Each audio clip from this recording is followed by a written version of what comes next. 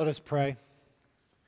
Gracious God, I thank you again for this day and for the opportunity to be gathered here in this place with this people as we prepare to spend some time in your wonderful word. Oh God, may the words of my mouth and the thoughts and prayers of all of our hearts be pleasing and acceptable to you. Amen. Jesus is on the way from Jericho to Jerusalem. He's walking along the roadside. And at the edge of town, as he's leaving Jericho, he meets a blind beggar, Bartimaeus. He's sitting at the side of the road which is a normal place for someone like him to be. He would not be welcomed inside the city limits because of his illness, his blindness. He would be considered impure, unclean. But here, on the outskirts of town, this was an optimal place for him to beg. It's a high traffic area. People are constantly passing by on their way somewhere or another. It's a good place for him to have a chance of receiving a coin or two. And as he hears that Jesus is coming down the road, he cries out, Lord, have mercy on me. Kyrie eleison in Latin. It's a simple prayer. Lord, have mercy on me but a prayer that would become the cornerstone of Christian liturgy to the very present day, Kyrie eleison. And the moment that Jesus hears that, he stops in his tracks. Now, he himself is on the way to Jerusalem. He's on his way to the cross, he's on his way to his death. And his heart and his mind must be weighed down with heavy thoughts of all that's awaiting him, the pain and the agony that is to come. But he's not so turned in on himself that he doesn't hear and recognize and stop at this need expressed by this poor man. And Jesus calls Bartimaeus, and Bartimaeus throws down the cloak that he's wearing on the ground and jumps up. And this is no insignificant action. You see, that outer garment, that outer cloak that Bartimaeus would have been wrapped in, at night would have been his blanket, his pillow. He would have used that to stay warm when he was sleeping at night. But in the daytime, he would take it off and hold it out like a bag. And that was his offering tray to collect the alms that would have been given him. And so you see, in throwing that cloak down, he already could see more clearly than the entourage of people who were traveling with Jesus. Even though he was blind, he could see with much greater vision. He understood that he didn't need this anymore, that with Jesus he was ready to hit the road in a new direction, that Jesus was the one to lead him, and that Jesus was the one that he could follow in a new way. And we see confirmation of that. For when Bartimaeus' eyesight is restored. He didn't go back home. He didn't walk down those old paths that were familiar to him. The scripture says that he followed Jesus on his way. Last weekend, I went home. Our family took a trip back to stay in the house in which I was raised. My mother still lives there. And while we were driving around visiting our favorite places, we found our way to the church of my childhood, the building that I grew up in. That building was built in the late 19th century, right in the middle of the University of Michigan's campus. About the 1920s, the law school at the University of Michigan wanted the land that the church sat on. Guess who won that battle? So, our church, that beloved building, hit the road and literally moved three blocks down the street. Every beam, every two by four, every fixture, every stone, every rock was carefully marked and labeled, disassembled, carried down the street, and reassembled in exactly the same way. That's the building I grew up in. For 90 years, it was that church at that location. Well, last year, the church decided to hit the road again. The congregation is on its way to a new stage in its history, but this time for a different reason. The church is getting older, declining membership, an aging population. It means that there are not enough resources and not enough people to care for that beloved building. And so the congregation is moving out into the country. And that building was sold to a fraternity it's now a fraternity house. And it's sad. It's sad to think of my beloved building, so sacred for so many reasons, used in such a secular way. And yet, and yet, a church that hits the road, a church on the move, is actually a really good way to think about the purpose of the church. Did you know that the term the way, the way, that phrase, is the oldest name given to the church of Jesus Christ? Before the word Christian was used, before the word church was used, the followers of Jesus called themselves the way. You remember Saul of Tarsus? Before he had his conversion, became Paul, converted to Christianity. The Bible said he was going out of his way to arrest whom? Acts chapter 9, verse 1 and 2 says he was looking to arrest followers of the way. He wasn't arresting Christians, he was arresting followers of the way. The way. When Jesus met people in his lifetime, it was quite often on the way somewhere, on the road. Two disciples met Jesus on their way to Emmaus. Bartimaeus, in our story today, meets Jesus on the way to Jerusalem. And quite often, the stories Jesus told had something spiritually important happen on the road. You remember the story of the Good Samaritan?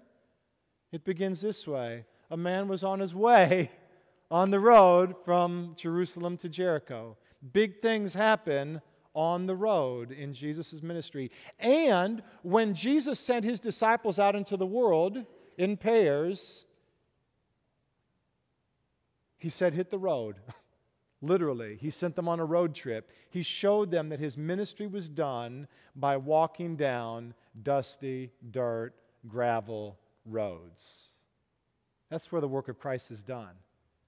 And so, to me, as a historian, I think it's very ironic that 1,500 years later, when the Protestant Reformation was in full swing in the 1520s, and people were leaving the Catholic Church and forming Protestant churches, that there was a great debate that raged among Protestants. And that debate, I mean, it raged. It was a serious debate over whether the bread and cup of communion was the literal body and blood of Christ or the symbolic body and blood of Christ. You with me? There were some that said it's the literal body and blood of Christ because Jesus said in Scripture, This is my body. And the word is, is must be understood literally. Therefore, this is the literal body and blood of Christ. There were others on the other side who said, Yes, Jesus did say this is my body, but he also said, I am the way.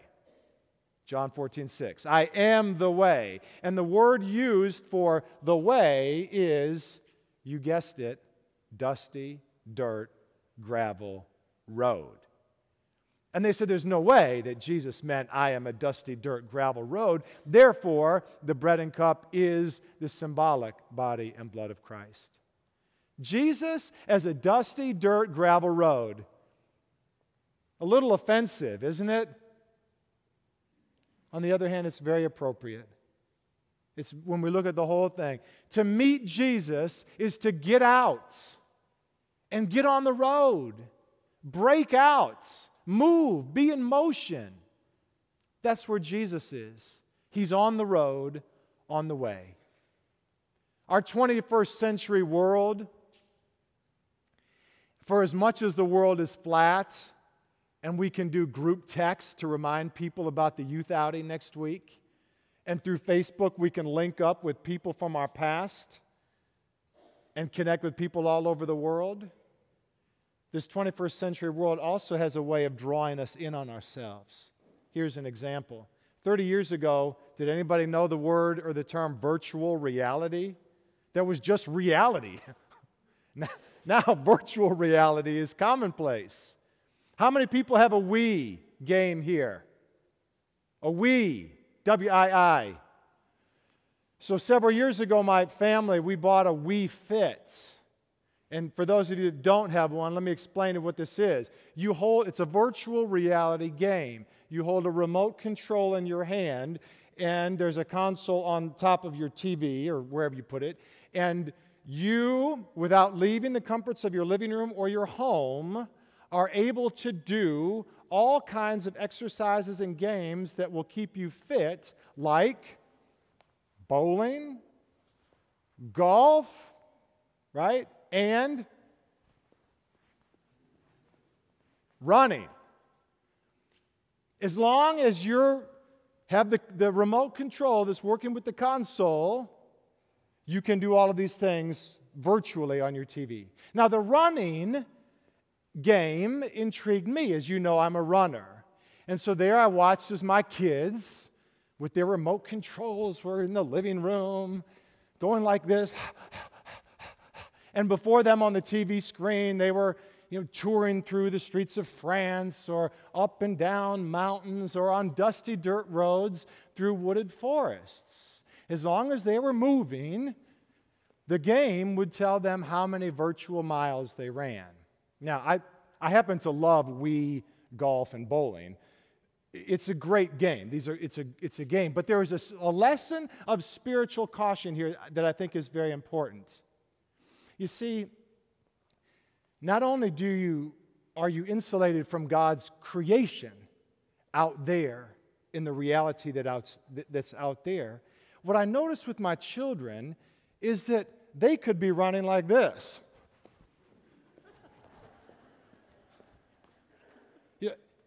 It didn't matter. Nobody in their right mind runs like this down the street. So there's no attentiveness to honing skill or learning craft or practicing trade. And what's even worse is that as long as you move the remote control, the game thinks you're running. So you don't even have to run. You can just move your arm like this, you see. But here's a lesson of caution we trick ourselves into thinking that we're doing something when in actuality there's no substitute for getting out and getting on the road and getting on the way. And it's the same way in our lives of faith. We can be tempted into thinking that we found Jesus when in actuality he's out there breaking us outside of our routines, our habits, our rituals, and our walls else.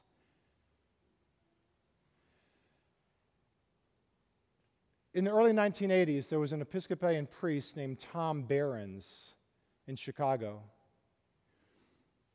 And he noticed that the people that walked the streets of his neighborhood at night were different than the people who walked the street of his neighborhood during the daytime.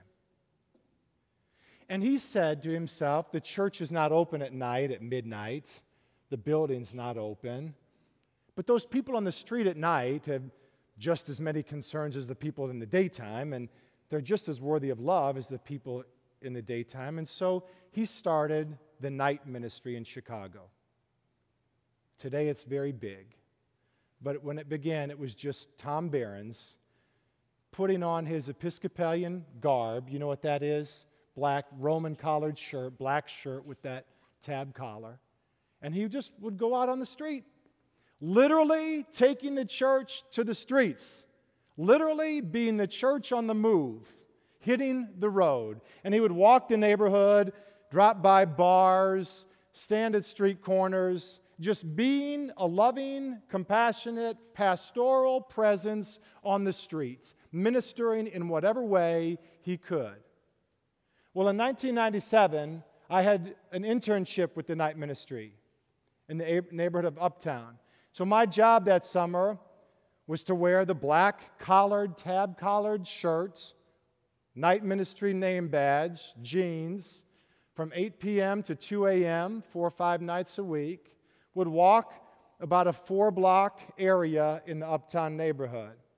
It consisted of one park, about five bus stops, two bars, Mike's Place and Carol's Pub, a few street corners.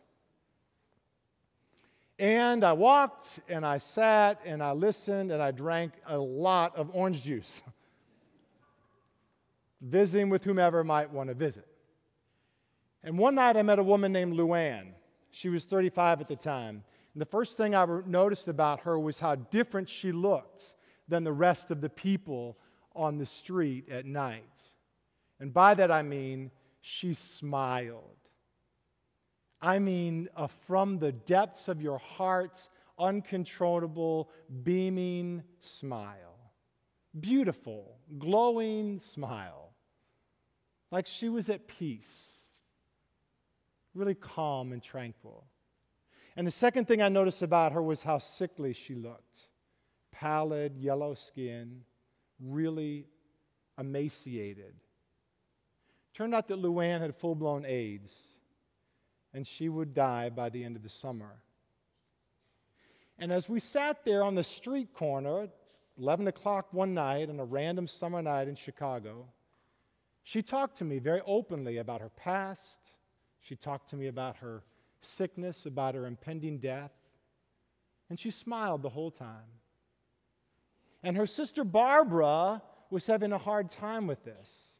Barbara stood behind her this whole conversation and, and was bear hugging her sister from the back like this, just clutching her and grabbing onto her and shaking her head. Barbara was her younger sister, an illiterate single mother of four children, and she depended on her big sister for so much of her daily existence. She couldn't bear to hear Luann talk about her future. And she never said a word, but she'd grimace and wince and shake her head back and forth, almost as though if she could just shake her head hard enough, she could shake a new reality into existence, one in which this nightmare would be over and her sister would be healed. And through it all, Luann just smiled and let her sister hug her like that. And she'd stroke her sister's hand and occasionally would interrupt our conversation to lean back over her shoulder and say, Shh, it's okay. Shh, it's okay. And to me, in that moment, the gospel of Jesus Christ spoke in this profound and powerful way. The gospel that says life is such that death can come at any time Bad diagnoses can come at any time. Suffering and pain and hardship can come at any time. And in those moments when they do, we want to grab on and to clutch and hold on to whatever is good and safe and secure and loving and do our very best to wish a new reality into existence. But the hope of the good news says that when we stand in the face of that uncertainty, the voice of Christ says back to us, it's okay. Because of my resurrection, it's okay. It's okay. When I left for work that night, I had no idea what I was going to encounter. But I do know that I had to leave the comforts of my Hyde Park neighborhood with neatly manicured lawns and sprinkler systems and home security alarms and swept sidewalks. And go up north to the gritty, panhandling, drug dealing world of uptown. And there, on the way, on the side of the road, was Christ. And to me, that may be the most profound lesson that I remember all these years later. that sometimes we meet Christ exactly where we expect to meet him. Sometimes we find them in the places we've always found them, But sometimes we have to get out of our own way. Sometimes we have to break out of our habits and our routines that have become rituals. If we walk the paths we've always walked, drive the routes we've always driven, follow the way we've always followed, sit in the same pew we've always sat in, and preach from the same pulpit we've always preached from, we may be the ones that are blind to the Christ who lives among us. Let it not be so. Let us pray. Gracious God, we thank you that you reveal yourself to us in predictable ways, but also in surprising ways. And may we be willing to hit the road and to break out, to get up, move, and be in motion, and find you and follow you on your way. Amen. Because